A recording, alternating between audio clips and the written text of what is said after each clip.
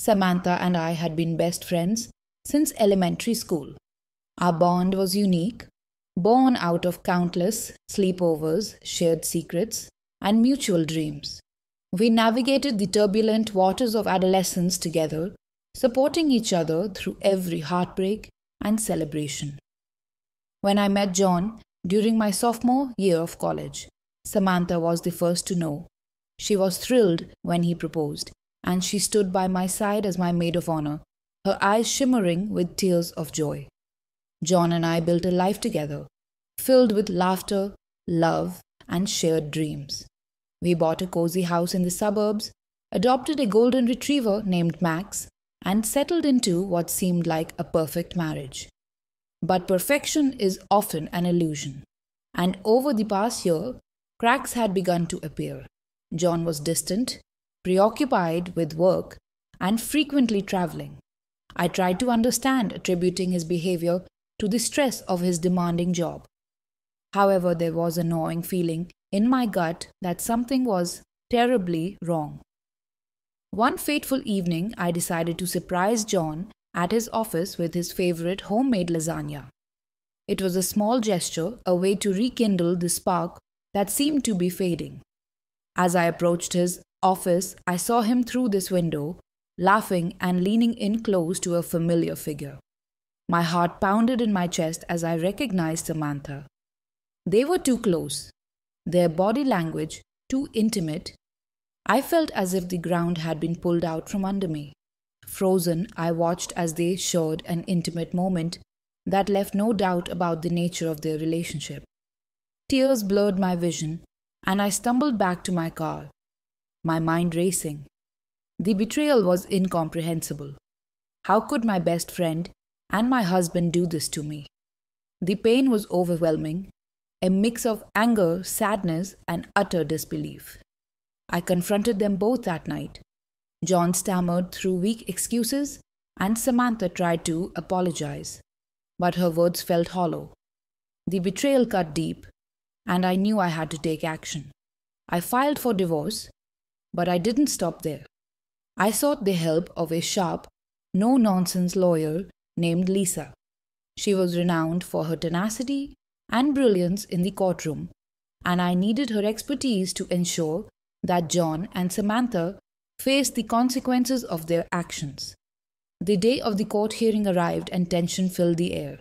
Samantha and John sat together, their expressions a mix of guilt and arrogance. They thought they had outsmarted me, but they were about to be proven wrong. As the proceedings began, Lisa presented a series of damning evidence text messages, photos, and financial records that painted a clear picture of their affair. But the bombshell was yet to come. Lisa called Samantha to the stand.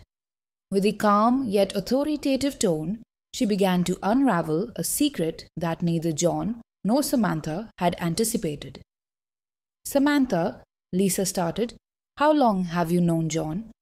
Samantha shifted nervously. We've known each other since college. Lisa nodded. And during that time, did you ever suspect that John might be hiding something from you?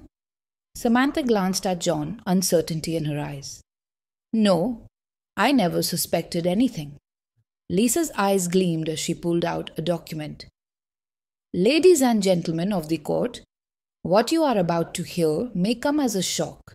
Samantha, did you know that John had been secretly funneling money into an offshore account, embezzling funds from his own company. Gasps echoed through the courtroom. Samantha's face turned pale. What? No, I had no idea. Lisa continued. Not only that, but John had also been using Samantha's name to set up fake business ventures, implicating her in his fraudulent activities. All the while, he was planning to disappear, leaving her to take the fall. John's face contorted in anger and panic. That's not true. She's lying. Lisa remained unfazed. We have the evidence right here, John bank statements, emails, and witness testimonies. You betrayed not only your wife, but also your so called best friend. Samantha's eyes filled with tears as the reality of John's deception sank in. She had been a pawn in his game, just as I had been. The judge reviewed the evidence, and it was clear that John had orchestrated a web of lies and deceit. In the end, John was sentenced to prison for his crimes, and Samantha faced her own legal battles for her involvement, albeit unknowingly.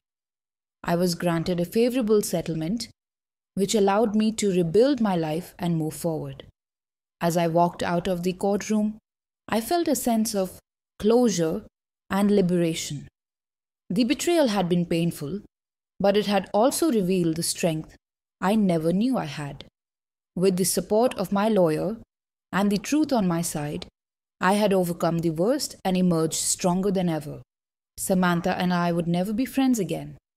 But I hoped she had learned a valuable lesson about trust and betrayal. As for John, he was no longer a part of my life, and I was free to create a new beginning, one that was built on honesty, resilience, and self respect. Asterisk, asterisk. Chapter 1 The Perfect Illusion, asterisk. Asterisk. Samantha and I met in the first grade. She was the new kid, shy and nervous, while I was the outgoing one, always ready to make a new friend. From that day on, we were inseparable. We shared everything, from our lunch boxes to our dreams of the future. High school was a blur of proms, heartbreaks, and late night talks.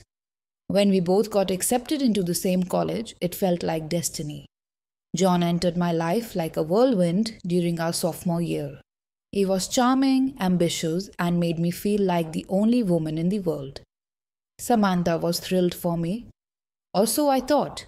She cheered us on as our relationship blossomed and was genuinely happy when John proposed.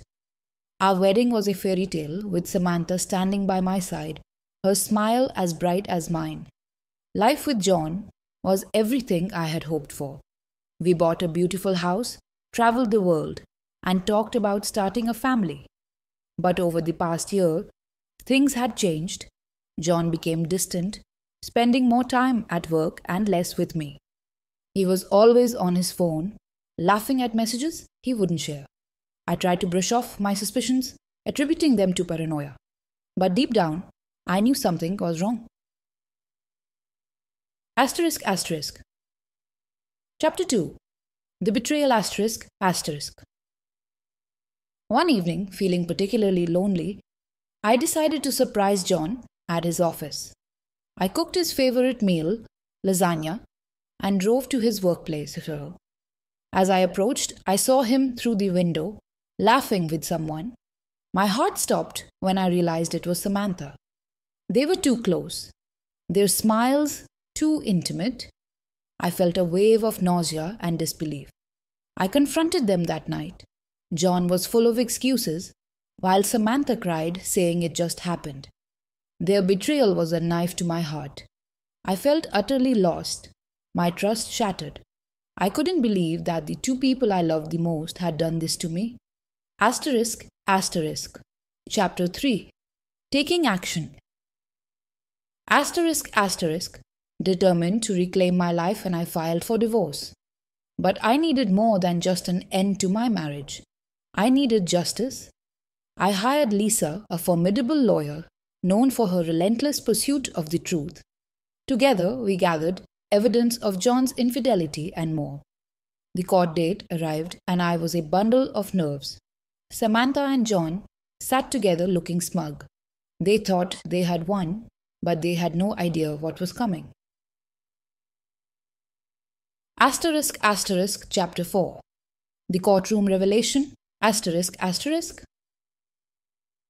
The courtroom was tense as Lisa began presenting her case. She showed the judge and jury the evidence of John's affair. But then she dropped a bombshell. Lisa revealed that John had been embezzling money from his company and funneling it into an offshore account. He had used Samantha's name to set up fake business ventures, planning to disappear and leave her to take the fall. Samantha's face turned white. I had no idea, she whispered, her voice shaking. John tried to deny everything, but the evidence was irrefutable. The bank statements, emails, and testimonies painted a clear picture of his deceit. The judge sentenced John to prison, and Samantha faced her own legal battles for unknowingly being part of his schemes. Asterisk asterisk, chapter 5. Moving forward, asterisk asterisk. As I left the courtroom, I felt a weight lift off my shoulders. The betrayal had been devastating, but it had also revealed my inner strength. With the settlement from the divorce, I was able to start over. I sold the house, moved to a new city, and began a new chapter in my life. Samantha and I never spoke again. The trust between us was irrevocably broken. I hoped she learned a lesson about the consequences of betrayal. As for John, he was a distant memory, a reminder of the importance of honesty and self respect. I built a new life, one founded on resilience and self worth. The experience had been painful, but it had also made me stronger. I learned to trust my instincts, to stand up for myself, and to never settle for anything less than I deserved. My future was bright, and I was ready to embrace it, leaving the past behind. And that was the story of how my best friend stole my husband, but she never expected what my lawyer was about to reveal to her. Samantha and I had been best friends since childhood, sharing our deepest secrets and standing by each other through thick and thin. When I married John, Samantha was my maid of honor, and our lives seemed perfect. But perfection is often an illusion. Over time, John's behavior grew distant, and the unthinkable happened. I discovered his affair with Samantha. Shattered by their betrayal, I sought the help of a tenacious lawyer Lisa to ensure they face the consequences. In the courtroom, shocking revelations about John's embezzlement and deceit turned the tables. As I reclaimed my life and moved forward, the bonds of friendship and love were irrevocably broken, but I emerged stronger and wiser. Betrayal Unveiled is a gripping tale of trust shattered, secrets exposed, and the unyield.